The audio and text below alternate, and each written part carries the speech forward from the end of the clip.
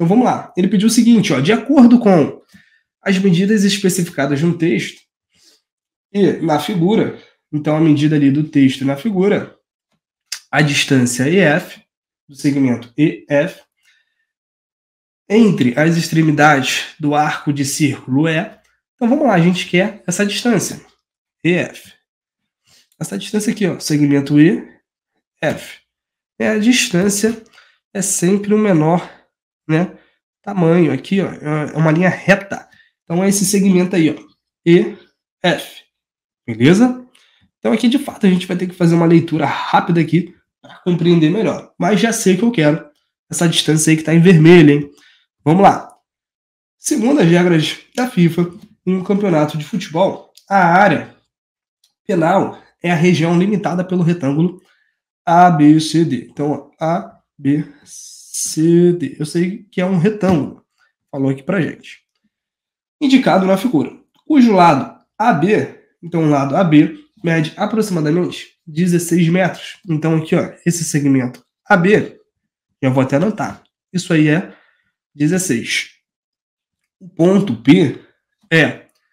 Então, ó, o ponto P equidistante, ou seja, mesma distância dos lados AB e CD. Então, dos lados AB e CD. Fica localizado a 11 metros do lado AD. Então, um lado AD é esse aqui. Eu sei então que P até esse lado tem 11 metros. Cara, então já vou até escrever aqui. Então, nesse ponto aqui até aqui, são 11 metros. Beleza. O arco de circunferência exterior à região penal tem centro em P. Então, centro em P. E o raio mede aproximadamente 9 metros. Então, ele está falando aqui do raio. Beleza? Então, eu já peguei todas as informações. Eu tenho o seguinte: né? Eu sei que P é o centro, ou seja, do centro até a circunferência aqui, a casquinha, né? Eu sei que vale o raio. Então, ó, se eu pegar daqui até aqui, deixa eu até pegar uma outra cor, cara, para a gente visualizar melhor.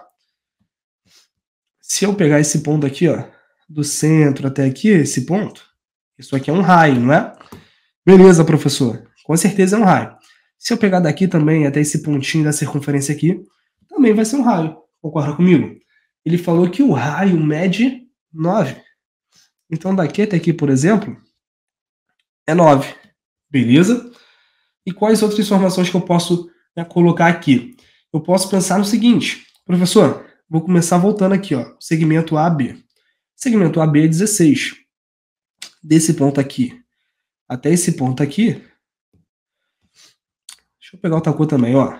Desse ponto aqui em azul até esse ponto aqui em azul também, Cara, você concorda comigo que são retas ali paralelas? Né?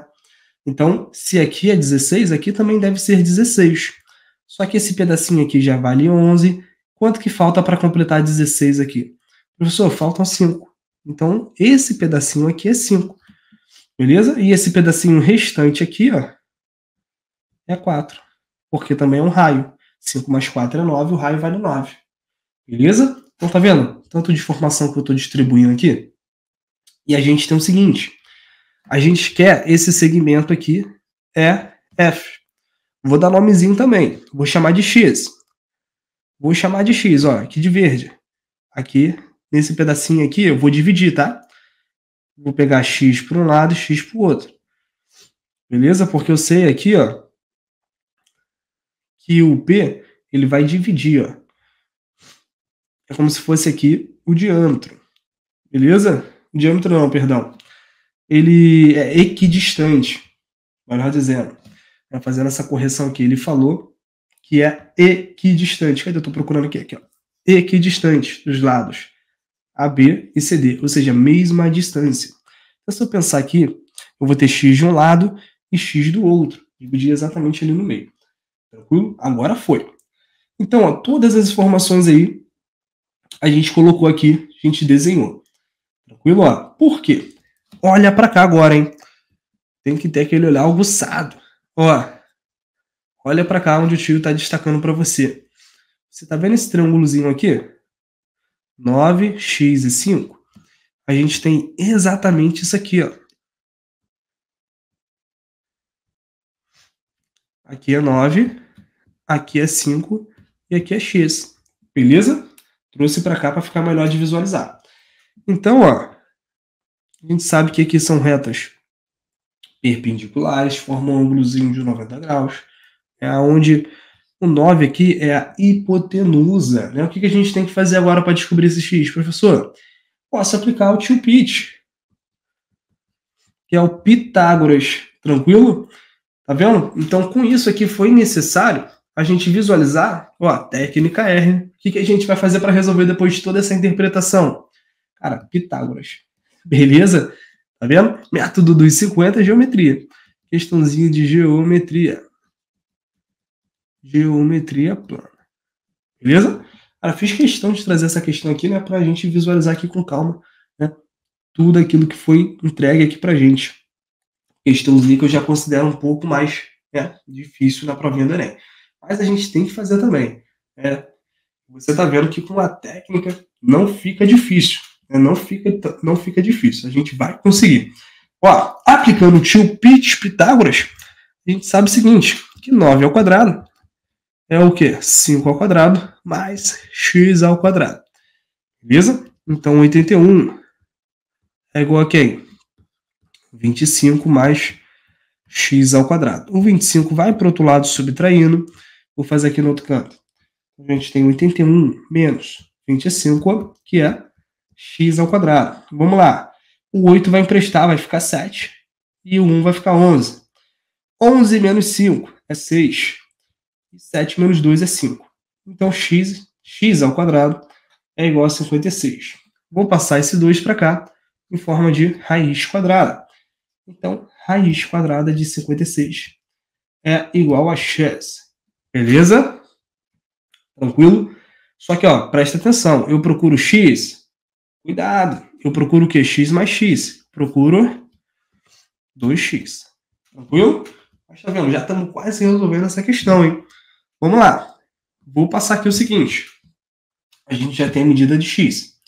x vale raiz de 56.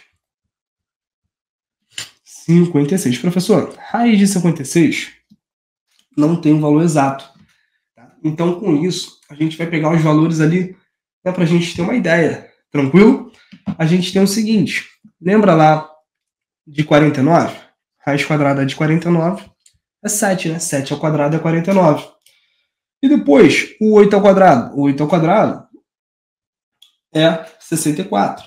Então, coloquei aí o 64 o que, que vai acontecer? Né? São valores né, que o 56 ele está entre esses valores. Ele está entre 49 e está entre 64. Não é isso? Então eu sei que a raiz quadrada de 49 é 7, raiz quadrada de 64 é 8, e eu sei que esse valor aqui vale x. Não é isso? Então posso dizer que x está entre 7 e 8.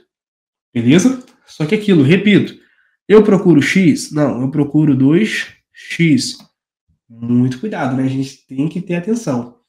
Beleza? Eu procuro 2X. Se tu pensa ali somente no X, olha lá, né? A prova é covarde. Olha a letra B. O que, que a letra B fala pra gente? A letra B fala que é superior a 7 e inferior a 14. Né? Se ele é inferior a 8, ele também é inferior a 14. Aí se você fala, pô, professor, né? Caramba, finalizei. Aí tu marca a letra B marca a letra B. Ia se machucar, imagina.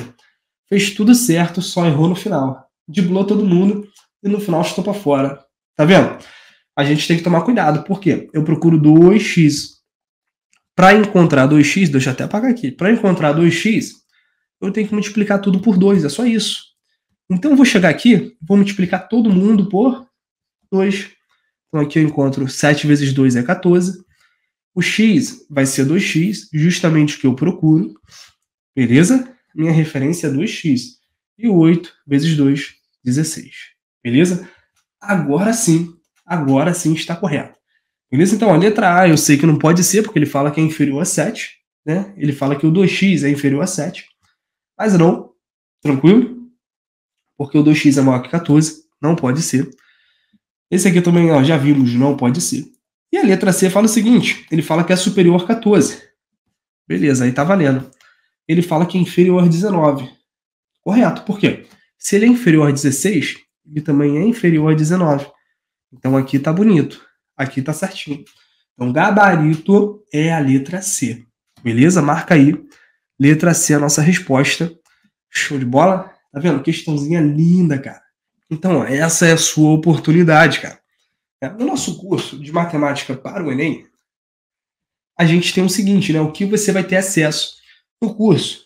Você vai ter acesso ao módulo de matemática básica, beleza?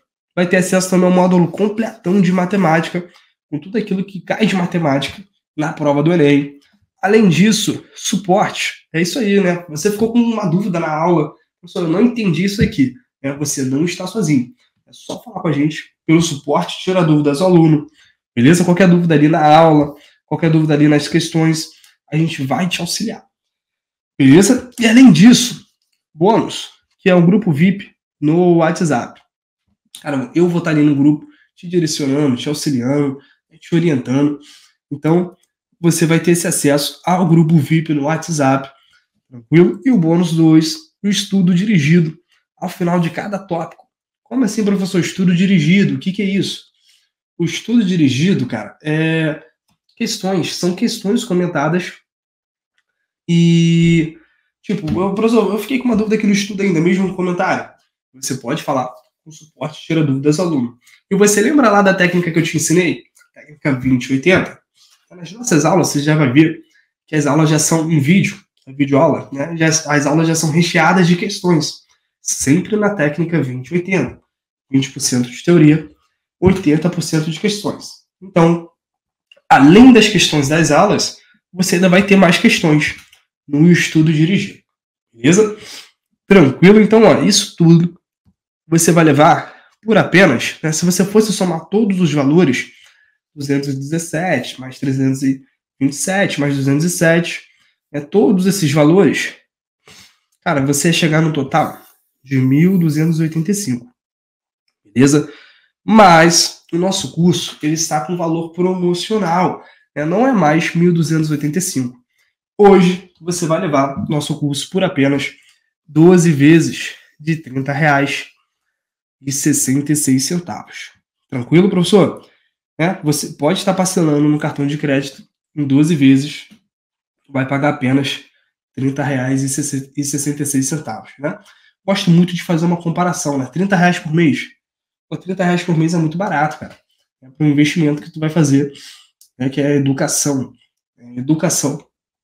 Eu acho que é o melhor investimento que você pode fazer para si. Cara, eu, eu não me arrependo de um, alguns anos atrás investir em educação. Foi a melhor coisa que eu fiz. Porque, não sei se você é igual a mim, né? Eu vim de uma condição não tão boa, cara, e só a educação tem o poder de mudar.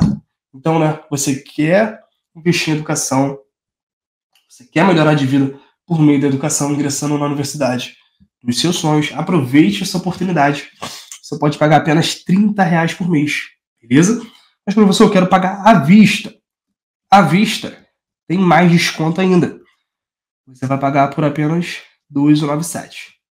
Beleza? Então tá aí, cara. Já deixei um recado para você, hein? É, vem que o muro tá baixo aproveite essa oportunidade. Beleza?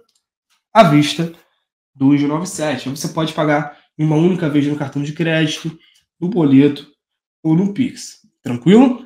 Então é isso aí, hein? É isso aí.